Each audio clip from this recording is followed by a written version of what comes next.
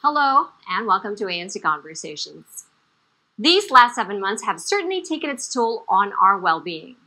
This week, we're talking to healthcare professionals from different fields to find out how we can take better care of ourselves and, more importantly, our little ones.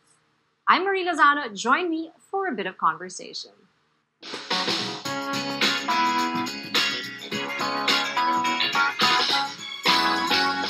We have with us Judith Alma Acosta. She's a naturopathic practitioner, a pranic healer as well, and a yoga teacher. Hi, Judith. How are you? Hi, Marie, and thank you. I'm okay. Okay, well, naturopathy is new to me, and I'm sure our viewers also don't know what it is. So, could could you tell us all about naturopathy? Okay. Actually, naturopathy is actually an earliest known healing system. The naturopathic medicine is a primary health care that encourages the body's self-healing process through the use of natural therapies, drawing on both traditional healing methods and medical science. Mm-hmm. Yes, okay, so, so it's basically naturopathy and naturopathic medicine. Okay, so when we talk about naturopathic medicine, what do mm-hmm. what do you mean? Like, um, what are ways to heal when when it comes to naturopathic medicine? it's basically going back to the nature it's basically the healing power the healing power of nature in naturopathy we have what we call the seven natural doctors which is dr sun dr water dr air dr diet dr sleep dr exercise and dr energy these are what we usually and most of the time recommend to our patient when they come to us we really make them become aware of the healing benefits of all this healing power of nature but because after all as i've said a while ago naturopathy is the earliest known healing system way yeah. way back in ancient time these are what our ancestral has been using mm-hmm. the um, this kind of um, system, this naturopathy, the use of the healing power of nature. And there's a lot of backup research studies already about all of these seven natural doctors that proven to be a very effective way of as a form of therapy. Yes.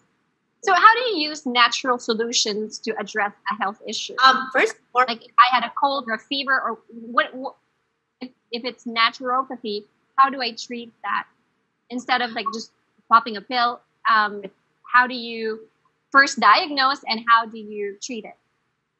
Well, we have what we call assessment in naturopathy with the use of iridology, iris. We look at the iris of the person. Through that, we can uh, determine already the uh, the constitution of the health of the health of the person. We hope we have also another assessment tool that we call sclerology that we can definitely um, find the current condition of the of the person. So what's going on inside the body of the person. There's a lot of things, kinesiology and um, also energy medicine is a form of we can assess and determine the current condition of the person. And um, in fact in naturopathy marie it's not only the physical aspect that we are looking at in the person. When our patient comes to us we look at our patient as a whole meaning the integration of the body mind and spirit. So we really we are trained and believe that the person may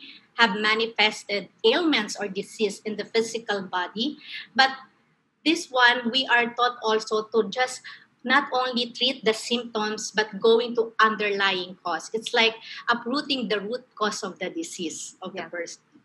Judith, how important is it that your patient is physically in front of you when you're doing um, the consultations? Because now everybody has um, you know have has have moved into doing their consultations online.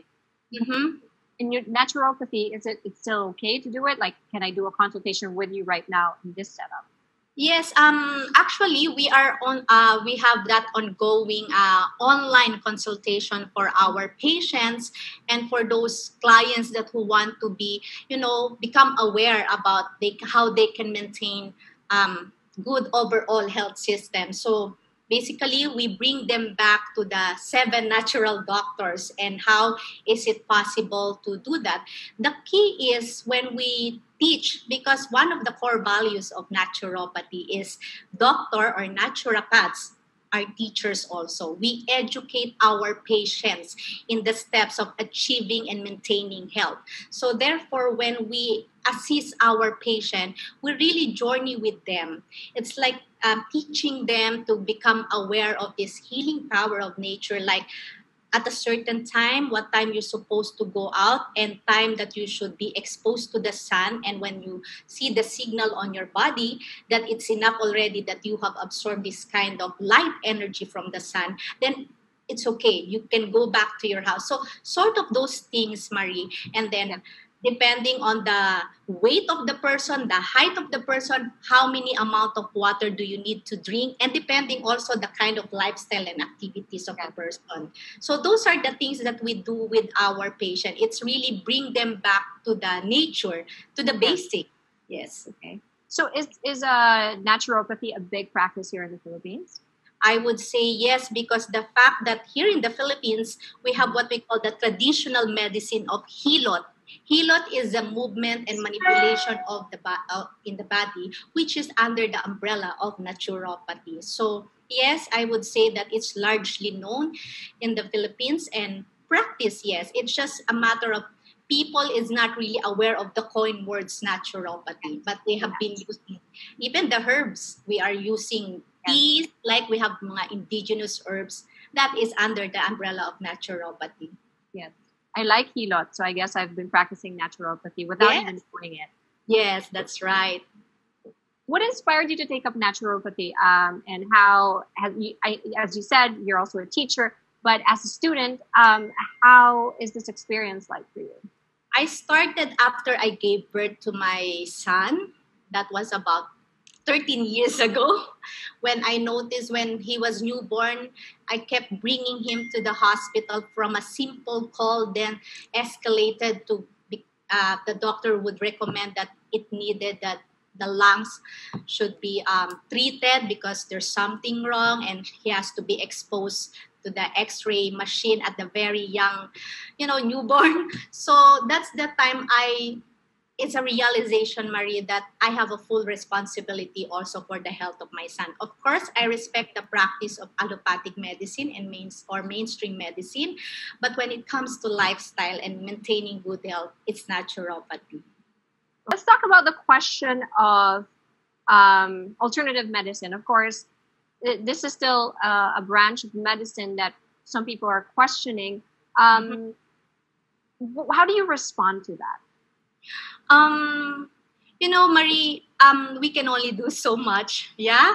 We can um as much as possible our practice as a naturopathy and naturopathic practitioner we are using actually our platforms to share information factful and insightful information about this kind of um, system. But um it's I, I will leave it to the people how they want to take it. It's up to them to experiment and to really experience the healing benefits of this. Mm-hmm. Um, my role is to spread, to be of service to them, to, to make them become aware about it. Yes. So it's up to them. You cannot force or impose people to what you just believe in. You let yeah. them experience. What we can do is just share the information. So that's how I take it. Okay. So Judith, since we're experiencing or we're in the middle of a health crisis right now, how can naturopathy help?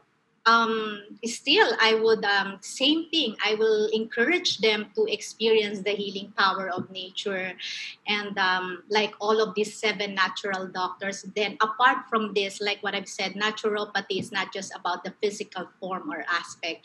You know, it is very very important to make our mind is healthy. There's a lot of ways that we can all do that by medit. Naturopathies, um, meditation is under also the umbrella of this kind of practice in naturopathy. You know, mm-hmm. centering yourself is very, very important. And um, those are the things that I would say that it let's take in our own hands the responsibility for our own health. And at this point in time, I think that is very, very important that by becoming aware and knowledgeable of what we can have access around us to make our overall health system to become really healthy is yes. our responsibility as an individual. Okay. So in the beginning of the pandemic there were um, you know i guess information spreading that there are certain types of alternative ways to deal with covid um, mm-hmm. so there are a lot of misconceptions about it. How do you how do you respond to this? When people say oh if you take this sort of herb or or if you if you do this then you won't get covid or you can heal covid what's your take on that? We're using our own platform to spread this kind of information. Um, the philippine institute of naturopathic sciences and the other organization i'm connected uh, with which is the pranic healing both of these the pins spreading the health and wellness awareness and the pranic healing energy awareness. These two heavily since uh, the start of pandemic heavily exposing this kind of information to the public and we are doing that actually so a lot of positive response but at the same time as i've said a while ago you can only do so much for people there are people will really message us um, really question us about all of this. And uh, one thing that we always say to them is um, have an open mind experiencing all of this. Because through that that's you become more receptive to what's you're looking for. What i'm saying the nature that we have right now is readily available and accessible for us. This is a gift of nature to us. So why not maximizing it? If you notice marie in the news also uh, a lot of doctors would say the number one thing to make sure that uh, we will not be contracted to COVID is to strengthen your immune system, right? Always yeah. say strengthen your immune system, but how, Marie? You know, that's always what we give the how. Then yes. bring them back to the nature. What is natural is less toxicity. Judith, I just want to clear. Um, so you you're not uh, advocating the use of um, naturopathy as a cure you're just saying it can help boost the immune system. I am for more of balance. I am for naturopathy. One of the uh, principles of naturopathy is also prevention. So focus on overall wellness and disease prevention, more of integration of strengthening the immune system. So that's what we are promoting right now, the uh, that kind of prevention. Why we have to wait for the cure if we can have an access and power to strengthen our immune system definitely we have that in our within us we have that the power and our environment itself has it. So why not maximizing all of this that we can to strengthen our immune system? Overall when i say overall it's the body mind and spirit. General tips that you could give um, in terms of how you can boost your immune system mm-hmm. through naturopathy Okay, first and foremost, I would um, advise that they would really um, become mindful of their diet. Nutrition is very, very important, yeah? And then make sure that they have an adequate quality sleep because even how much you eat good food, all the supplements that you take in, if you have constant sleep deprivation, a matter of time you're gonna get sick. Yeah, mm-hmm. and then uh, going back always to the seven natural doctor that. Uh, um, Dr. Sun or Dr. Sunshine is a natural antidepressant. So nowadays, it's not only the physical form or physical aspect that we're looking at. We are becoming aware that since this pandemic, a lot of mental um, problem is, is occurring and rising right now. So it's good to get out and ex- uh, expose yourself to the sun like for about five minutes and then mm-hmm. drink enough water breath, um, breathe fresh air. Now if you're saying i'm living in the city i mean of course fresh air should be clean. What we always advise as closest to the nature marie like put some indoor plants. You know they are very very good inside the house because they are emitting purifying air inside the house or diffuse some essential oils. If you if you're living in a condominium bring nature to your house. That's what i always um, advise to my clients and patients and of course don't forget your exercise. Exercise is doesn't it doesn't have to be like um um, heat or you know a moving thing a simple stretching. Because when we move our body our lymphatic system is being cleansed. We don't have a way that is one of our eliminatory system in our body that we don't have a way to eliminate toxins. But when we move our body through per- and then we perspire yes. we are cleansing our lymphatic system. So we avoid yung mga abnormal growth, yung mga unexplainable that all of a sudden there's a growth growing in your part of your body. So those are the simple things, simple but very powerful practice. So those okay. are my advice. It seems like uh, naturopathy is a very vast topic, and I, I don't think we will have enough time to discuss that. But thank you so much, Judith, for at least giving us an introduction to naturopathy, and we will definitely try to learn more about it. Thank Thanks you very much, Marie. Thank you. Thank you so much. Whether it be mental or physical health, there's not one universal remedy. As the experts say, the way to better take care of ourselves is by listening to what our body and mind truly need.